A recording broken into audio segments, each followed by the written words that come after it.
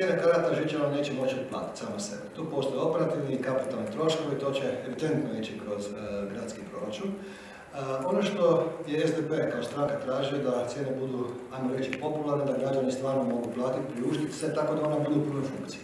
Zato smo bili izašli s onom predlogom da budu cijene 30 kuna, jer se u javnosti spominjalo da će biti 50 kuna u jednom smjeru. Evo, gradonačelnik je izašao sa e, prijedlogom cijena koji je niži od onog što se do sada kao neka objektivna cijena u javnosti spominjalo.